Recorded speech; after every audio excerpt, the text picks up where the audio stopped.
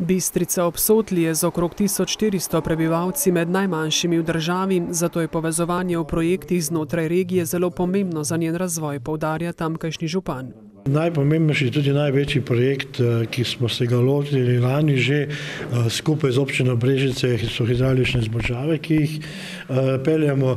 Zelo težko je bilo pridobiti vsa soglasja, to je bilo res eno težje delo, vendar imamo izbrana vsa soglasja. Projekt vodooskrbe bo zaključen najpozneje v dveh letih. Ob tem izvajajo še več manjših, od napeljave optike, urejanja kulturnega doma, knjižnice in igrišča. Se pa zelo trudimo, da v, za v bodoče, da spravimo skupaj uh, vrtec in telovadnico. To, to je, sicer so projekti naslednjih treh, štirih let. Sodelovanje v regiji pohvalno ocenjujejo tudi v Radečah.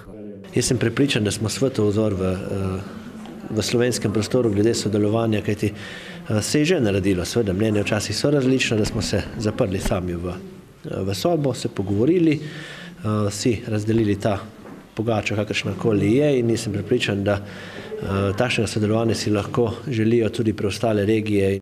Brežiški župan ne uporeka tej oceni, a meni, da bi bilo sodelovanje lahko še boljše. Dejstvo je, da nekako pri teh eh, krovnih velikih projektih se še dogovorimo, potem ko pa treba kakšne manjše projekte sestaviti, pa ni.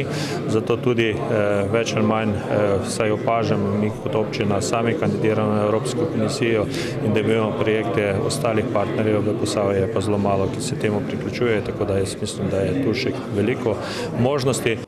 Za primer je dal projekte Evropske komisije, v katerih so bili brežičani v preteklosti že uspešni s programom za invalide v vodnih športih, zdaj pa so spet uspeli s projektom Stavim na zdravje in zanj neposredno od Evropske komisije pridobili pol milijona evrov.